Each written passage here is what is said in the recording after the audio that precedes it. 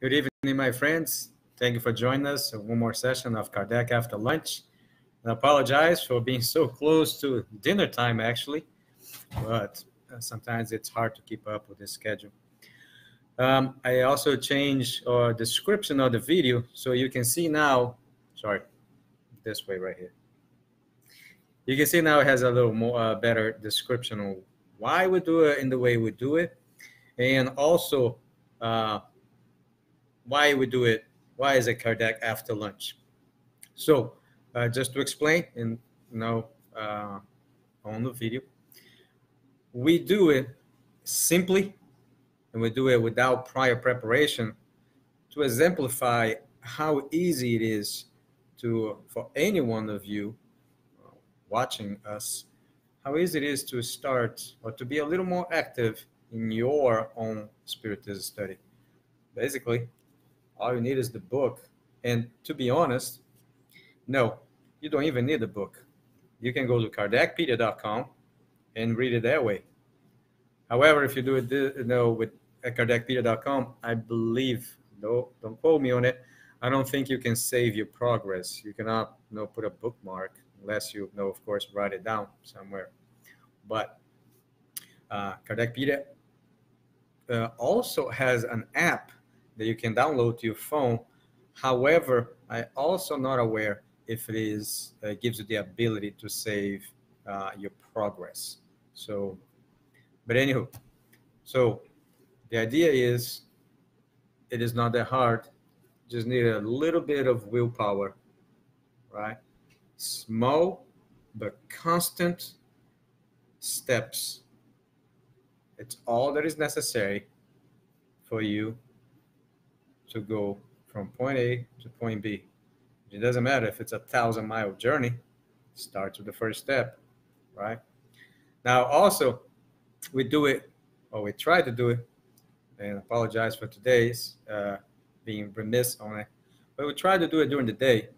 And the reason is not only I'm able to, so why not, but also because, think it with me here most, if not all, of the Spiritist sessions, the study sessions that you may be able to attend at your local Spiritist society or elsewhere. 99% of them, if not 100% of them, are held after working hours. Right? Now, consider that uh, you may be uh, exposed to that piece of knowledge for the first time or even if it's just a refreshed knowledge, but you haven't had, I won't say the opportunity, but the the conscience or the let's say the up, the idea to put it into practice. Oh, thank you, Celso. Celso has been with us uh, many, many times, uh, supporting our channel. So I really appreciate Celso all you have done. Uh, know that in the future, near future, I'll actually send you a request for feedback because we love to hear from you. I would like to be able to benefit those who are listening. So, but so we do it during the day, uh, and we we will try our best to do it close as possible to lunchtime. So if you're at work or at home during your daily routine, and you happen to have the chance to listen to us live, interact, uh, or even if you don't have the chance to do those things, but as you expose to that little piece of knowledge, just 15 minutes of it. But after the video, you may, very likely, if you really intend to put that knowledge into practice, you may be given the opportunity by God to do so, right? And it could be at your workplace you know towards your co-workers. Because as you know spiritism is not very uh, diffused uh, very spread or very recognized here in the united states. So most i imagine of your co-workers may not know that you are a spiritist. They also may not know what a spiritist is on what we believe, and therefore, would not have an expectation of our behavior or um, or beliefs or you know, uh, how we conduct ourselves. So, most of us, what are we? We are part time spiritists. We are spiritists at the center of the society during study groups, during conferences, during meetings. But many of us consider that we are not a spiritist during your daily routine at your workplace, right? Not not saying that it happens with all of us, but I suspect that it does happen with many of us. So, by giving the opportunity to either just listen to, watch our program, or even comment, interact live, you now have the chance to not just study a little bit of Kardec during the day, but hopefully, God willing, you'll be able to practice spiritist, oh, sorry, spiritism. Because it's easy being a spiritist in the society amongst other spiritists. It's a whole other thing to be a spiritist in the middle of the world. But that's exactly where we're going to be able to make some progress, right? Because we can only make progress if we let go our former self. And we can only let go our former self. Oh, hello, Eli. Eli, sorry. Thank you for joining us. And hopefully it's just the first time of many to come. So I appreciate you uh, watching us live and for your support. Um, some of what I covered already, uh, feel free to uh, watch it again. But uh, so the idea is we do those sessions, we do them quick, we do them during the day. So you can see how easy it is to replicate. And yeah, hopefully you'll be able to use that knowledge during your workday and benefit from that chance and that effort that you took to reorient your thoughts, your words, and your actions. But uh, lately, I've had the blast opportunity to interact with many uh, uh, members of the Spiritist Society, uh, some renowned uh, members at the Spiritist Society of Virginia and the Spiritist Society of DC. And those videos are available, the lectures, uh, and those amazing time, amazing. It's very, very nice to uh, be able to take part in English uh, lectures and study sessions. So let's uh, actually start what we're here for. Uh, sorry for eating up like half of our time. But we're going to be reading from the Medium's book.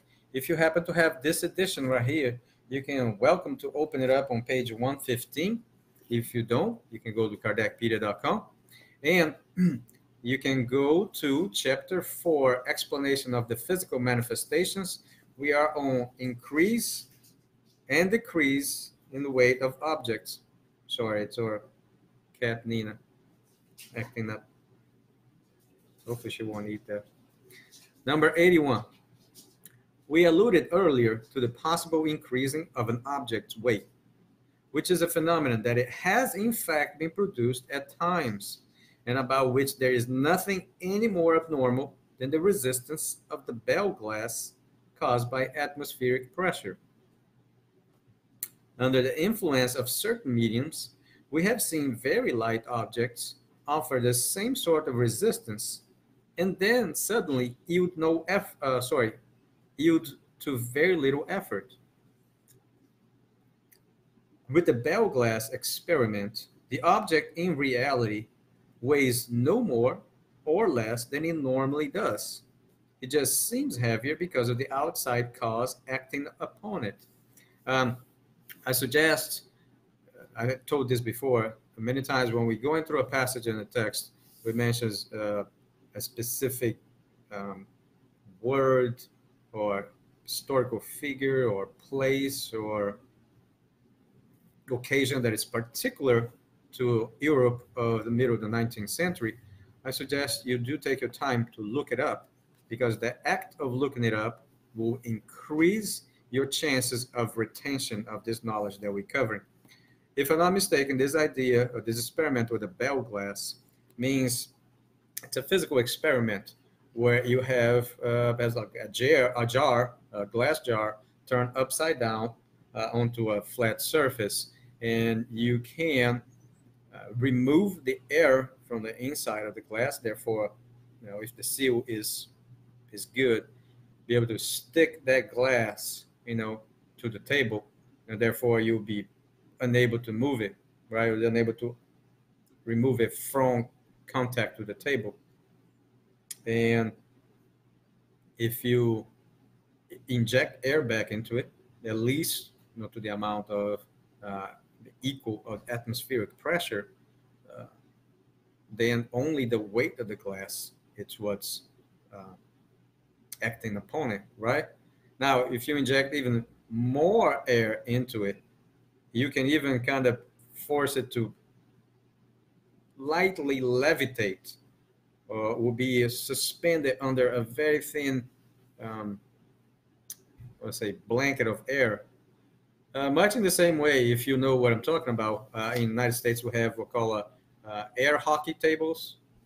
Uh, so basically, it's just a table with a whole bunch of small uh, holes in it where air is passed, is pushed up through it, and it enables a little puck to levitate, float. So uh, the same thing probably happens with the table. It continues to maintain its intrinsic weight since its mass has not been increased, but an outside force opposes its movement. The cause may be in the surrounding fluids that penetrate it, just as the bell glass cause is the atmospheric pressure. Perform the bell glass experiment in front of an unlearned peasant, and he will not understand that the acting agent is actually the air that he cannot see. It would be very easy to persuade him that it was the devil's work, right? Because for to those who do not know how certain thing operates, right, they might as well be, and that depends on the volition of the person, or the perspective, or the interpretation. It could very well be a divine force, or it could be a diabolical source.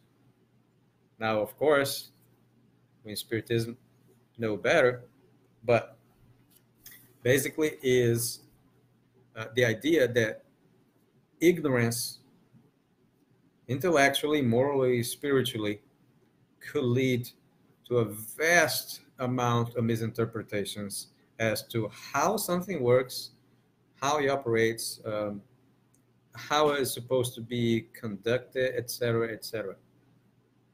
How can we decrease our level of ignorance? Studying. There is no other method. No one can inject knowledge into you against your will. And knowledge, it's only gained through effort. There is no other way. Continue. One could perhaps think that since the fluid is imponderable, then its accumulation could not increase an object's weight. Agreed. However, Notice that if we had employed the word accumulation, it is to make a comparison and not to identify the fluid with the air. Yes, it may be imponderable. Nevertheless, there is nothing to prove that it is. Its essential nature, it's unknown to us, and we are far from knowing about all of its properties. Before knowing about the weight of air, no one would have suspected such an effect to be possible. Electricity is also classified among the imponderable fluids. Nevertheless, an object can be held down by an electric current and it will strongly resist whoever attempts to lift it. In this case, actually, he's describing a magnetic uh, effect. But remember, this was written in the middle of the 19th century. it does appears to have become heavier, but simply because of the fact that there is no support to be seen. It would be illogical to conclude that there is none. Hence, a spirit may possess means of leverage unknown to us. Nature proves to us every day that, that it cannot be limited to the testimony of our senses, which is a very good explanation. And completely confirmed because imagine back in the day where science was completely uh, sorry i'm going to continue going here because i'm in the middle of the, the topic but uh, going to mark here where we left off but imagine back in the day where science was completely restricted to our senses where there was no instrumentation that could measure you know um, physical quantities that we know nowadays. Uh, by default, of course, science could not go could not go very far because we're very limited to our senses. To this day, of course, our interaction with the spirits, for example, it's limited not just to our senses, but uh, to our in- intelligence and our belief. So let's do what is our responsibility to progress and to try to become better little by little be a better person today than we were than we were yesterday. Okay? Until next time godspeed to all